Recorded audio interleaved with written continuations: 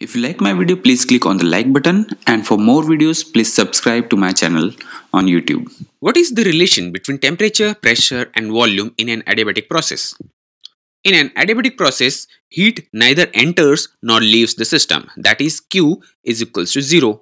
From first law of thermodynamics at constant pressure, Q is equals to delta E plus P delta V. Therefore, 0 is equals to delta E plus P delta V or delta E is equal to minus P delta V. This is equation number 1. For an infinitesimal small change in a reversible process, we can write dE is equal to minus P dV.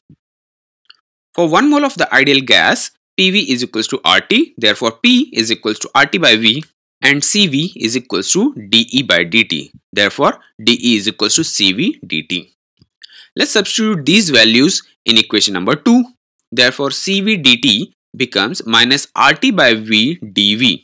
On rearranging this equation, CV dt by T is equals to minus R dV by V. This equation can be integrated between the limits from T1 to T2 and V1 to V2. Therefore, CV integration of dt by t from t1 to t2 is equals to minus r integration of dv by v v1 to v2.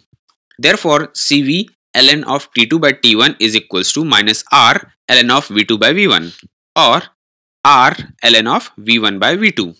Therefore, cv ln t2 by t1 is equals to cp minus cv ln v1 by v2 because r is equals to cp minus cv or ln of t2 by t1 is equals to Cp minus Cv divided by Cv ln of V1 by V2 which is equals to Cp by Cv minus 1 ln V1 by V2 which is equals to gamma minus 1 ln of V1 by V2 where gamma is equals to Cp by Cv. Therefore T2 by T1 is equals to V1 by V2 power to gamma minus 1 or T1 V1 gamma minus 1 is equals to T2 V2 gamma minus 1. In general, the relation between temperature and volume is TV power to gamma minus 1 is equals to TV R by CV is equals to constant. Also, for two states of 1 mole of an ideal gas, P1 V1 is equals to RT1 and P2 V2 is equals to RT2.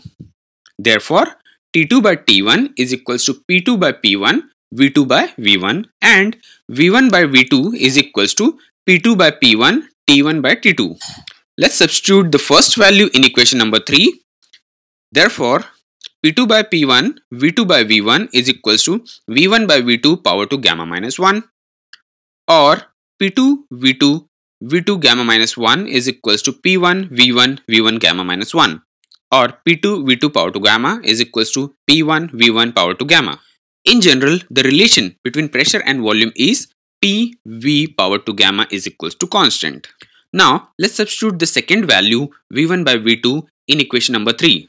Therefore T2 by T1 is equals to P2 by P1 T1 by T2 power to gamma minus 1. Therefore T2 power to gamma divided by T1 power to gamma is equals to P2 by P1 power to gamma minus 1 or T2 by T1 is equals to P2 by P1 power to gamma minus 1 divided by gamma. This is the relation between temperature and pressure.